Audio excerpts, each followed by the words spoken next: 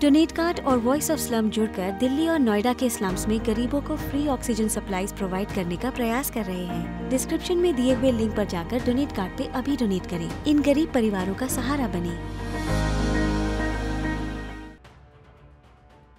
अफ़गानिस्तान से अमेरिकी सेना की वापसी के दौरान तालिबान में भी बलूचिस्तान ने फिर से सिर उठाना शुरू कर दिया है।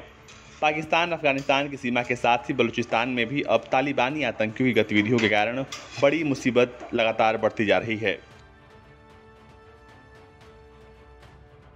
एशिया टाइम्स के एक लेख में लिखा गया है कि बलूचिस्तान में तालिबान उस समय से बेचैन हो गया है जब से पाकिस्तान ने अपने बयान में कहा है कि अफ़गानिस्तान तक हवाई और ज़मीनी पहुँच प्रदान करने का 2001 का अनुबंध अभी वैध है। अफगान तालिबान ने पहले ही पाक को चेतावनी दे दी है कि अगर उसने अमेरिका को अपनी ज़मीन इस्तेमाल करने की छूट दी तो ये उसकी सबसे बड़ी गलती होगी।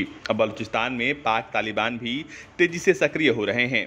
इन आतंकवादियों को संरक्षण देने की अब पाकिस्तान को कीमत चुकानी होगी।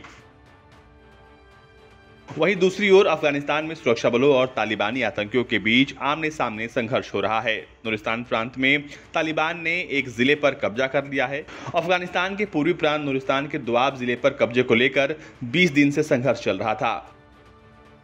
आतंकवादियों ने ज़िले के सभी आपूर्ति मार्गों को बंद कर दिया, जिसके बाद खाद्य आपूर्ति और गोला बारूद नहीं मिलने के बाद सुरक्षा बलों ने ज़िले से अपना कब्जा छोड़ दिया।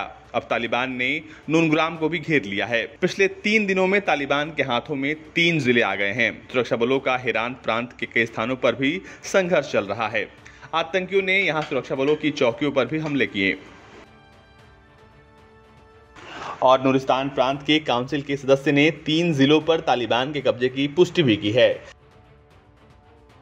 जाबुल प्रांत के शिंकई जिला तालिबान के कब्जे में आ गया है। बदगिस प्रांत में तालिबान द्वारा बिछाई गई बारूदी सुरंगों से 11 लोगों की मौत हो गई है। ये सभी लोग यात्रा कर रहे थे और रास्ते में सड़क पर बारूदी सुरंग से विस्फोट में मारे गए। इनमें तीन बच्चे भी शामिल हैं।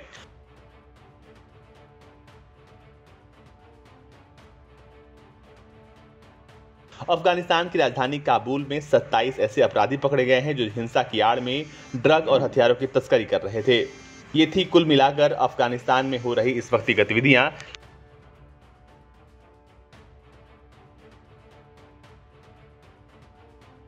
लेकिन अगर हम बात करें अफ़गानिस्तान की मौजूदा स्थिति की तो जब से अमेरिका वहाँ से वापस जाने के लिए अपनी कवायद तेज कर चुका है, वहाँ पर आतंकियों ने फिर से सिर उठाना शुरू कर दिया है।